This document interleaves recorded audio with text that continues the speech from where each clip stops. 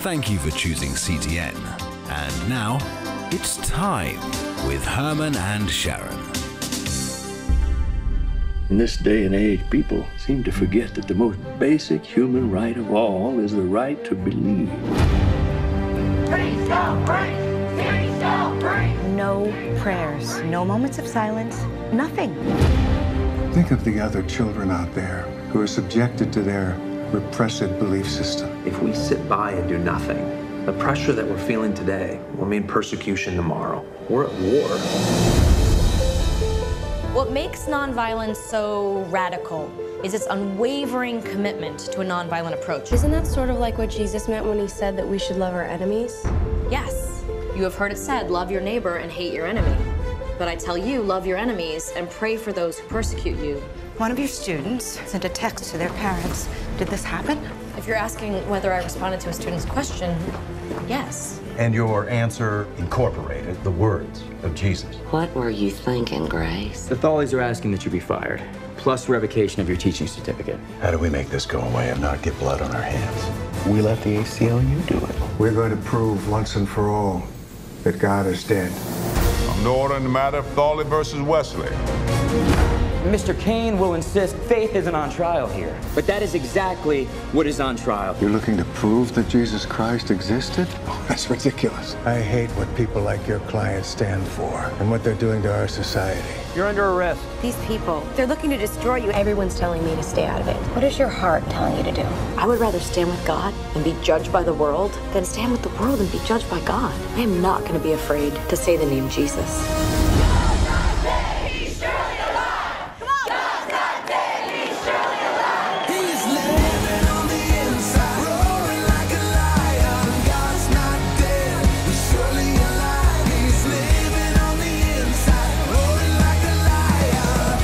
Insist that a Christian's right to believe is subordinate to all other rights, then it's not a right. You are out of order. I charge you with contempt. I accept the charge because I have nothing but contempt for these proceedings. Now you're about to meet the original American Idol, Pat Boone. Where is that? good, to, good to have you. You know, that is true. Yes. Hello, Honey Bunch. Hi. Yeah, uh, American Idol is really patterned after the old Ted Mack Amateur Hour, which yes. before that was Major Bowes. Yes. Frank Sinatra and his group won that years before on radio. And then Ted Mack owned Saturday Night TV with the talent show, and the, and the winners each week were chosen by the viewers, cards, letters. And uh, if you won, you were brought back the next week. And if you won three weeks in a row, which I did, you come back whenever there would be a three-time, a bunch of three-time winners. We would compete with each other. And I came back for that about a year and a half after I won the three times. But then, while I was waiting to hear who won, and they tell me I was winning, amateur show, I went on a professional show, Arthur Godfrey's Talent Scout Show. Oh, show yes. on Monday night. See, that's all in my time schedule. You Yeah. know, you, yes. and I won that. Well, you can't win a professional show Monday and be declared an amateur winner the following Saturday. So you disqualified I was yourself? disqualified from winning the final big scholarship prize, which I could have used, and I oh, thought, Oh, My goodness. I blew the whole thing. Now, now you you graduated from Columbia. Columbia. Columbia University. Did you magna get a magna cum PhD? laude. No, not PhD, uh, but magna cum laude, honors. I missed my Phi Beta Kappa key by a technicality. I should have been told by a uh, faculty advisor or student advisor that that I needed to take one more content course instead of an elective. And I, I thought I was home free. I'd made straight A's. I thought I'm going to get a Phi Beta Kappa key to wear, but I missed it on a technicality. But I made the grades, and magna cum laude is not bad. Did Daniel Boone ever think that he was going to have a relative that smart? He couldn't spell bear. he spelled D. Boone killed a bar.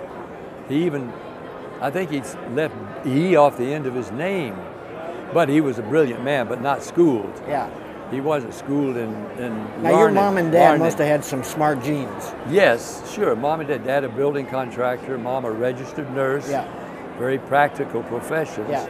So when my brother and two sisters and I were growing up in Nashville, the fact that these two And that's where we are right now. yeah, practical, uh, professional people considered our Bible study and home devotionals and church services a practical part of life really made an impression on us. Is that God speaking? Yeah, you just, you just you just have to talk a little louder. Over the intercom. yeah, yeah, that's right. We're right in the midst of a lot of noise. Yes, yes. Yeah. Yes, Lord. Yeah. Yes. Yeah. Say again. Whatever, the, whatever you're Yeah, saying, we we agree. We, we agree right now. Yes. Now, what what songs you're talking about when you won? Do you remember what song you were singing? I think I do. The first was I believe. I believe for every drop of rain that falls. A pop song, big hit by Frankie Laine. Yes. But it was a song of faith. And I won the Ted Mack show singing that. I won the Arthur Godfrey show singing I believe. After that on the now, Ted were you a believer at the time? Oh yeah. Okay. Strong Christian. In fact, when I went on Godfrey's show, there were two other performers. It was only a half hour show each. Three people would vie for uh, four, four mornings on his um, morning show on radio and TV. And I was praying for a three-way tie. I didn't Wow. expect to win, but I had a New Testament in my pocket right over my heart. Really? And I was just praying for a three-way tie. Maybe I would get on the morning show. Instead, I won. But then that disqualified me from Ted Mack. I thought, no, I lost. But what happened was the result of both those things attracted the attention of Randy Wood, the head of Dot Record, based outside of Nashville, not far from here. Very aggressive independent label, and he, I stopped off at home to see my folks on the way back to North Texas State, where I was with my wife, expecting our first baby. And Now, uh, where, where did you meet you- Shirley here in school at Christian High School at David Lipscomb yeah. here in Nashville. And we were sweethearts from almost the day we met 16 at 16, married at 19, and then at 20 You've been almost married 62 years. 62 years, yeah. Wow. And uh, that tells you she is a wonderful woman. Yes. And I've been a very obedient husband. What was your first? Not really. What was your first hit, Pat? First hit was Two Hearts, Two Kisses, Make One Love. A rock and Uh-huh. roll song. One heart's not enough, baby. Two hearts will make you feel crazy. One kiss will make you feel so nice. Two kisses take you to paradise. Two hearts, two kisses make one love. Hear that, Brooke? And next was Ain't That a Shame? Yeah, oh. We came right after it. Yeah. So the, one kind of repudiated the other, I guess. I hadn't thought about that. Where did April Love come in? It was about, I don't know, number 10 or 12 down the line. You won't believe this. I didn't believe it myself because it happened so fast, I didn't know it. And it doesn't sound possible. But from March of 55, when I made Two Hearts, to February of 56, when Elvis Presley released Heartbreak Hotel, Yes. I had six million selling singles, two of them number ones, in that 11 month period. What were the two? And What was the two number ones? The two number ones were I'll Be Home and Ain't That a Shame. Okay, those I'll are the Be two Home was um, I'll Be Home, my darling. Yes, I remember. And, and uh, with a recitation in the middle. Yeah. It became the number one most requested song on Armed Forces radio. This was in the late 50s. Isn't that we had amazing? military stationed all over the world, and uh, this was their song, both theirs and their sweethearts or wives, hoping they would be united again, that he would be coming home. For four years, it was the most requested song. So, in 11 months, that's how I was able to survive the Presley onslaught. Now, were you going school to, school at the same time? Yeah, I was at North Texas State then, and then I transferred to Columbia as the records started happening so fast that same year of 55. How did you study?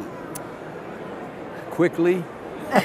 So, so you, I- so you really are a good student. I, I am a good student, and I have a, a like a fly paper mind, or at least it was it was it caught more flies then than it does Yeah, now. yeah.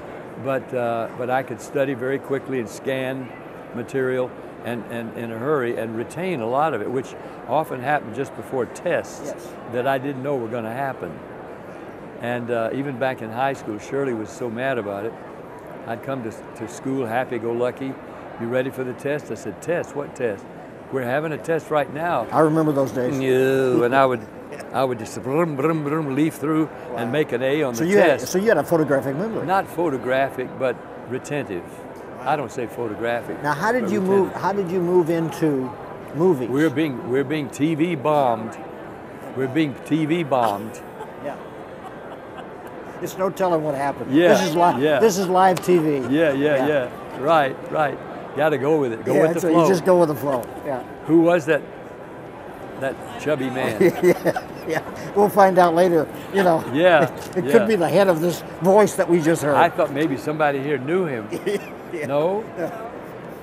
Well, as long as he's not serving subpoenas. Yeah, that's we're right. okay. He knew us. He, He- put it down. Yeah. When he when he saw Pat Boone, he went nuts. Okay. First it God, and now yeah, him. yeah. First it's God, now it's now it's a strangers walking up and hugging us. Yeah, yeah. But night, It's nice to be night light. Yes. And it's Anyway, whatever the question was. yeah, yeah. The movies. How did that? How did you morph into movies? Well, the records, you know, the records, this hit after hit after hit, and I matched Elvis hit for hit during the 50s. Really? Only recently did I find I had one more top 40 hit than Elvis. And the first time we met, he was my opening act. In uh, I told you about Are you, that. so so true. Elvis opened for your show. In the 11 months, not for my show, it was a sock hop, a big Yeah. dance function.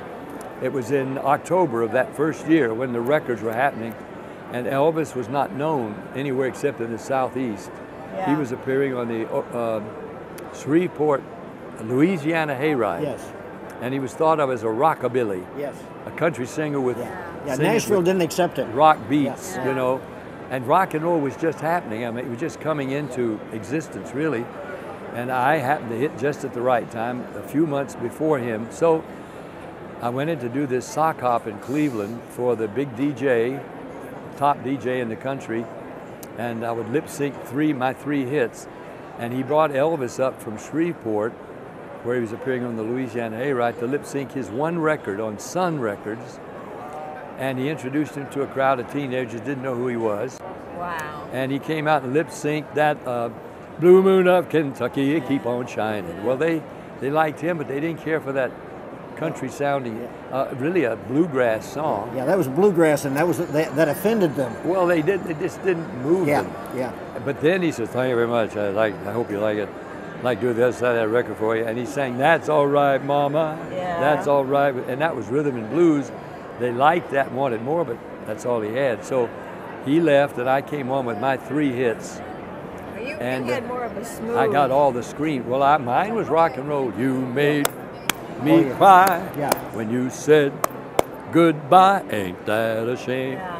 And um, You had white bucks. He had blue white suede. bucks, and his were scuffed up shoes of some nondescript. Didn't you sing love letters in the sand? Love that hadn't even happened yet, but yes, love That's- letters in the I sand, April love, And, uh, friendly persuasion. And since my baby left me or something. Yeah, That yeah, one, yeah. Those are the two I had. I played over and over again. So you know, people have some people have asked me to sing love letters in the sand at their weddings. Sure. Yes. And I said, why? It's about a love affair that didn't last. now my broken heart cries with every That's why wave. he's walking in the sand. You should say, "Write me a check for a million. I'll go ahead and do it." You don't want me to sing, I'm, I'm writing love letters in the sand for a love that didn't last. yeah, that's right. Anyway, that- but it sounded very romantic. How do you do? You live in the same home that you? 56 years. 56 years in Hollywood. Yeah, Has the uh, real estate gone up? a little bit. we are living at the corner of Beverly and Sunset, right by the Beverly Hills Hotel. Oh my! Almost an acre and a half of flat land at that corner. How many offers have you had? Many. And, and they keep coming and they keep going up, up. And, and we say, this is home. We're not trying to sell our house, our home. Yeah. But it's reaching the place where we're asking God, are you trying to tell us it's time for us to leave here and move to a Motel 6 or, or whatever, uh, or just maybe leave this very, not just prominent place, but very vulnerable place? Yes. Yes. Uh, so the offers keep coming, and if we reach a certain figure and we're dangerously close to that figure, we will take it as God saying, yes, time for you to, to move. Otherwise, we've got 56 years of stuff stuffed into every nook and cranny of this. We, you know, we raised four kids, and then You'd have to have two vans, moving vans, just for the stuff. just for the stuff in boxes. That's what I, Shirley says. I could never, I could never manage a move to it. And I said, honey, there are companies Yeah. That will manage it for us. Oh, yes. And they would inventory everything. They just tell you to go to Hawaii and then meet us. But then bring us boxes when we in crates. Uh, they call them. Uh, what do they call them? Not Pod- boxes. iPod- pods. pods? Yeah, Pod. pods. Bring us a pod at a time, and we'll go through the pod and see what we had forgotten all about and hadn't seen for 30 years, and we think we still need. Now, you know, it's amazing. I know they talk about role models, but you truly are a role model for the Hollywood set. I mean, it's amazing. They don't know it. But but do, I mean- does, does that really bother them? I mean, when, I mean, you, you are. In a way. It does. Yes, yes, in a way, without my intending it at all. Oh, sure. Um, some have indicated to me that they feel a certain intimidation. Cer- They said, "Oh, there's this goody two shoes up here. You know, he doesn't drink, doesn't cuss. He's married to the same woman all these years." Didn't you do a movie and you said, "I'll do it if I don't have to kiss"? Oh well, that not exactly. Okay. It was there was no kiss in the script. My first movie. Yeah. Was was Bernardine? No kiss in it. No love interest really. The next was April Love, right in the same year, 1957, with Shirley Jones. And there was no kiss in the script, so I hadn't even discussed that eventuality with my wife Shirley. And, and, and, and when the director at the end of this music scene said, now lean in and kiss Shirley Jones, I said, on the mouth? He said, yes, where else? yeah, where else? Earlobe? Yeah, yeah, and, um, and and I said, Henry, that wasn't in the script. He said, no, but people want to see you. This is a perfect place for you to kiss your leading lady. I said, you know, can we put it off till a little later? I haven't talked with my own wife, Shirley, about kissing other women in the movies. So you're a major star at this time. Well, I was headlining. Yeah, yeah, headlining. two movies. Yeah. And uh, in top ten box office, and I wasn't. And and he, he he thought it was kind of funny. He said, "Well, this would be a perfect place, but we'll save it till later in the film." I come home, I talked to Shirley, and I said, "Honey, uh, they want me to kiss Shirley Jones, and I, I need I need to know is this going to be a problem?" She said, "Look, I I'm ahead of you. If you're going to do movies, there's going to be kissing scenes. I want you to promise me one thing." I said, "What? You won't enjoy it." I said, "I promise I won't enjoy it." So I came back to the studio telling the director, "Okay, I would kiss Shirley Jones." But this crazy thing had hit the trade papers overnight. Pat Boone refuses to kiss leading lady, supposedly for religious reasons, and it was going worldwide on the wire services. Oh, I remember. The world was learning I wouldn't kiss the leading lady, and it wasn't for quote religious reasons. I just wanted to stay married. and uh, and so the head of the studio brought me in. He was very upset. He said, "What is this about you not kissing your lead?" I said, "I explained it." Good. He said, "I've already told the press after discussing with the director, you are going to kiss Shirley Jones."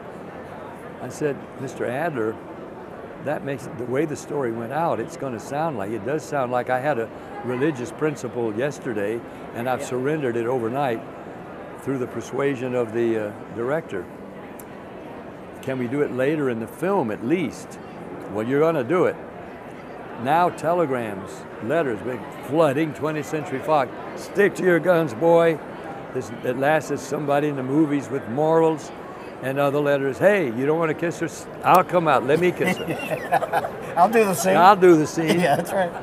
And so in that movie, I, because of the the way the story went out, and because of all the approving letters that came pouring in uh, about a stand I really hadn't taken, I didn't kiss Shirley Jones in the movie. I did kiss later Debbie Reynolds, Ann-Margret, Diane Baker. I forget some of the others. I forget. That tells you I did not enjoy them.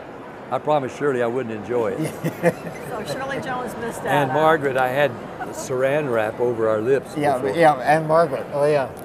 she and Elvis did a pretty good job. yeah, yeah, yeah. I left that to them. Yeah, that's right. But, but yeah, eh, that, that story went out, and people, there are a lot of folks who still think that I refused to kiss the leading lady. You, you had a variety show on ABC, film career, and, and now a new film, God's Not ah, Dead. yes. Okay, yes. tell us about that. I love just to say the title. God's not dead. God's not dead. God's yes. not dead. Tell 'em right there. There's your God's camera. not dead. Um, and of course, the first film with Kevin Sorbo was a huge moneymaker. I, I'm told it did over 100 million at the box office. Really? Now, God's Not Dead 2. See, I had just done a film. Imagine at this stage of my life, I thought I was through making movies years ago. But a couple of parts for 80 year old guys came up. One is in Boonville Redemption, a film yet to be released, uh, a feature film about a town in, in Northern California, Boonville. It exists, it's really a town, a rural small town where a faith based drama takes place, including the minister of the little church being shot dead in his church in the Boonville. opening Boonville. And I play a part there. I played the town doctor, a very important role in that film. And because Pure Pureflix that did God's Not Dead saw a, a cut of that film, they asked me to play another 80 year old in this uh, God's Not Dead 2. And it's, it comes out April 1st. Wow. And it's a, we saw a screening last night for several thousand people here. Fabulous film. And it's about a hot button issue. A school teacher, and this can happen and is happening right now across America. We're letting it happen, which is why this movie is important. Uh, a school teacher answers an innocent question from a student. They're studying Martin Luther King. Didn't Martin Luther King quote Jesus?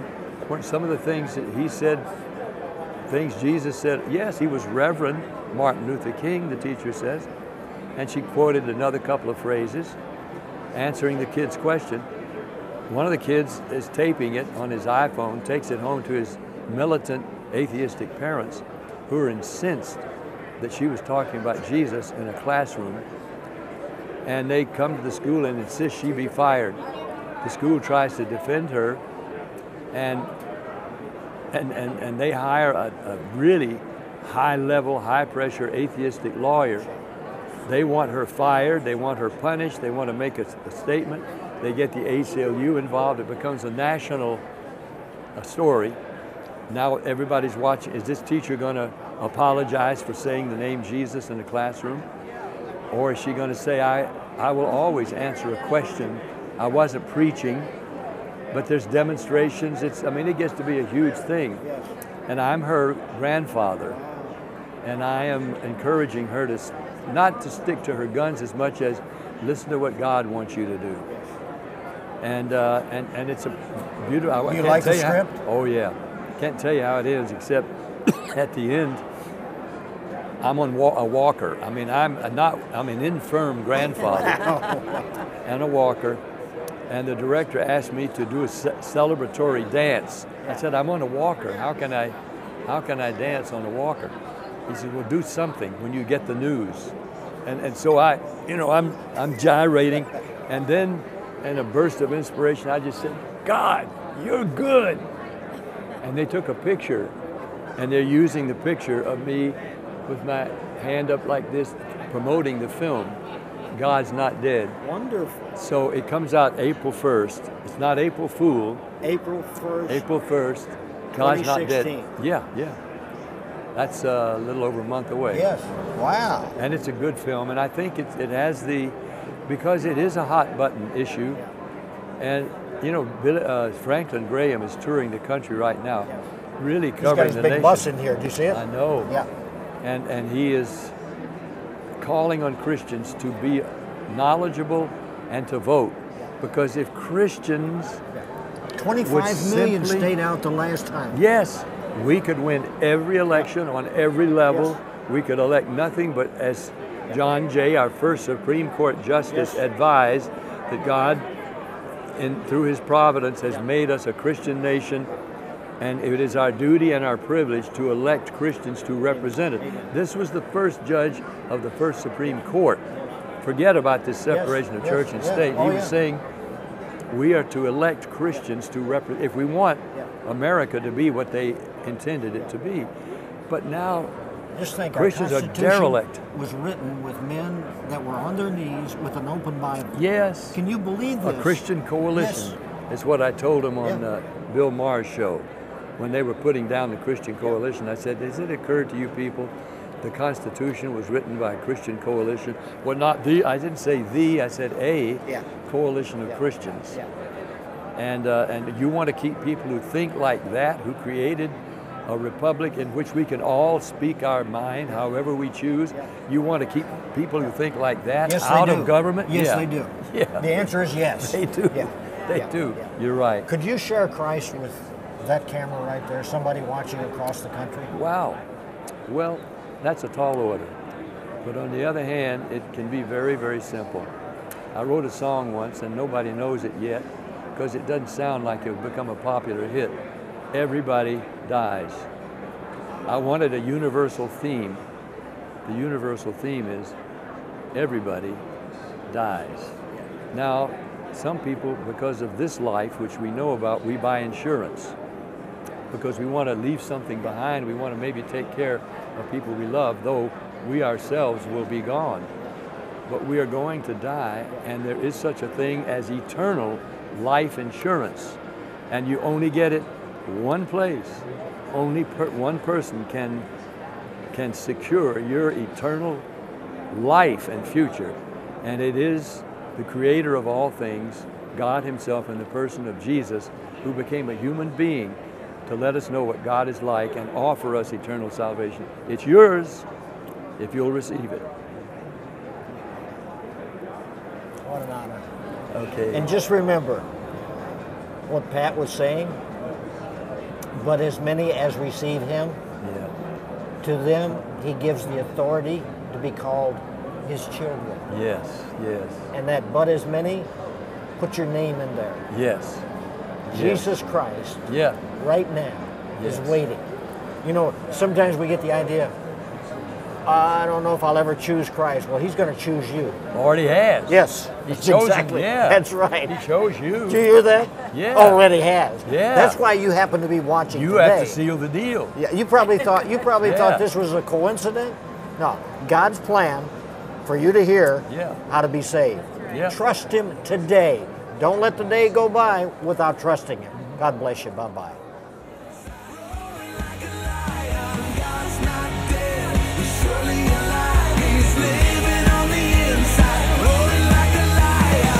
Have you reached a decision? I would rather stand with God and be judged by the world than stand with the world and be judged by God. God's not dead, he's surely alive. He's God bless you. Careful, or you might end up on trial. He